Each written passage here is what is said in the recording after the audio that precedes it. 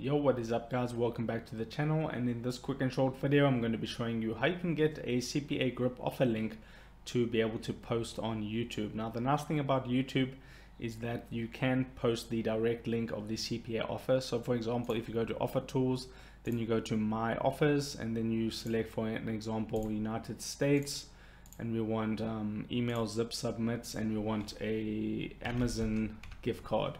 So claim your 500 Amazon gift card, you click on the CPA offer, you would select one of the correct tracking domains. So these ones that say new, sometimes they don't actually work. So you can scroll down and select something else that's a little bit older. So I like to use this get either Giga install or get a file now.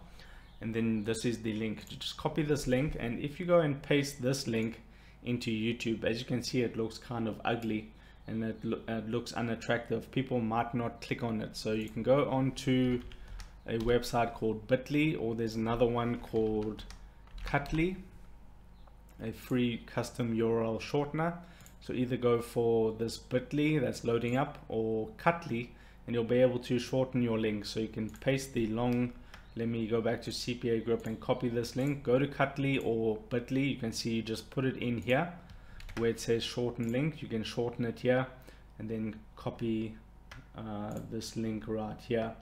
That'll be your link you can paste on YouTube descriptions or Cuttly is the same you paste the link shorten it okay so CPAGrip offers looks like they cannot shorten with cuttly so i would stick with bitly for this one and then use this link instead of this long ugly link and then you can just simply post that in your youtube description and you'll be good to go so if this video helped you out don't forget to drop a like onto this video and subscribe for more and i'll see you in the next video. Take care